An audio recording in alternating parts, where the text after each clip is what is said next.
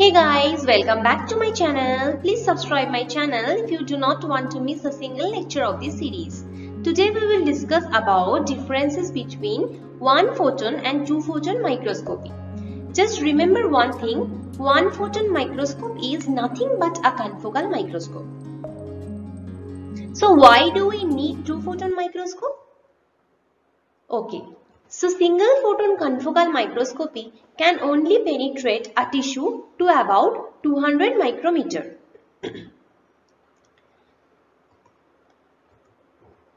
then what's about the thicker tissue? Two photon confocal microscopy can penetrate a tissue to about 1 millimeter. But how is it possible?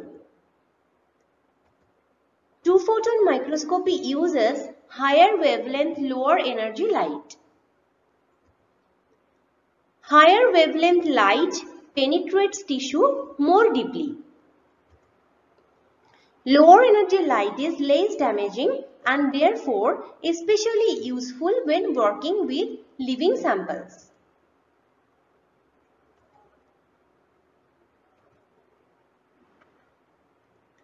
Uh, now we should know where from this higher wavelength light come. Now look at the Jablonski energy diagram. So one photon fluorescence process involves exciting a fluorophore from the electronic ground state to an excited state by a single photon.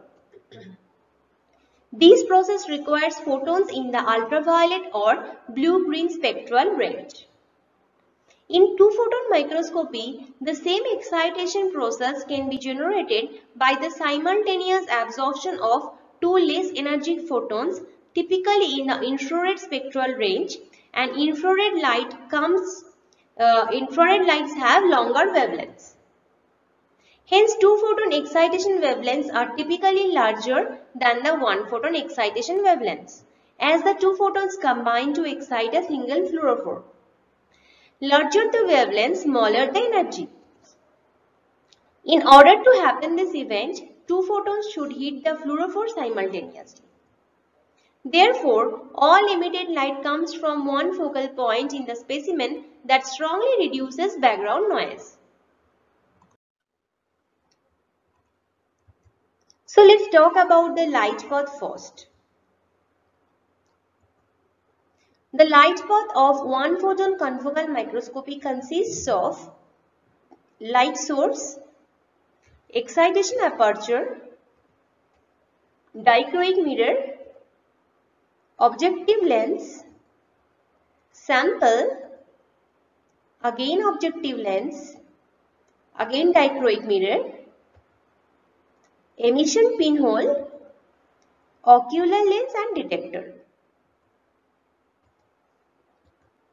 The light path of two-photon confocal microscopy consists of light source, specialized mirror, dichroic mirror,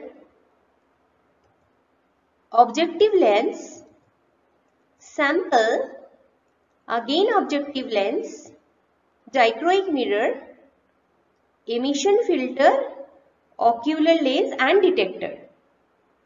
So light source is the first difference. One photon confocal microscope uses UV or visible rays to excite a sample. Whereas two photon confocal microscope uses infrared rays to excite a sample. One photon confocal microscope uses two pinhole systems one before the dichroic mirror, another before the detection system.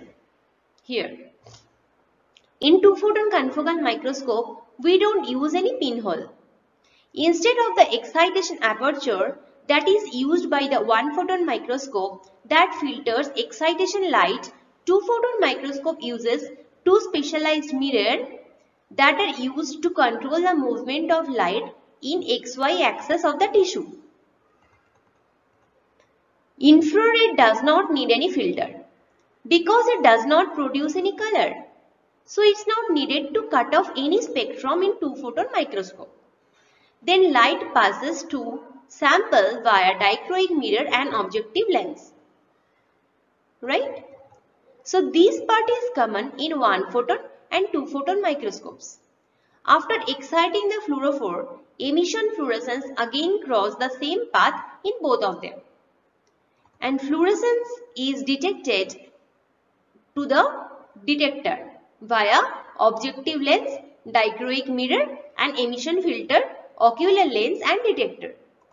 Now you can ask me why this time we are providing the emission filter here. This is because this time we are getting fluorescence and to cut off background noise we are providing this filter.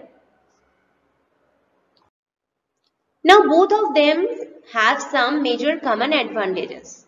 Both can be used to study the dynamic behavior exhibited in live cell imaging. Sensitivity is very high for them. They have high degree of specificity.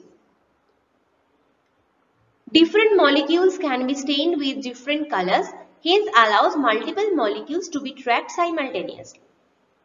Used for both in vitro and in vivo imaging. They eliminate background noise. Depth of field can be controlled in both the cases.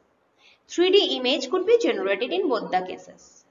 Now using two photon microscope gives some advantages over one photon microscope. Two photon microscope restricts excitation to a tiny focal volume in thick samples. Hence, no out of focus emission light can come. Two photon microscope requires no pinhole aperture, thus minimizing signal loss. In two photon microscope, it could reduce damage to the cells. Right? Now some limitations are also common in both the cases. They have photobleaching effect. So fluorophores lose their ability to fluoresce as they are eliminated. They only allow observation of the specific structure which are labeled for fluorescence. But two photon microscopes sometimes give less resolution. The resolution of a microscope system is inversely proportional to the wavelength of light used. Hence, it has laser resolution as it uses longer wavelength. That is all about the difference between one photon and two photon confocal microscopy. Hope you understood the concept. If you liked my lesson, please do like, comment and share my video. Thank you.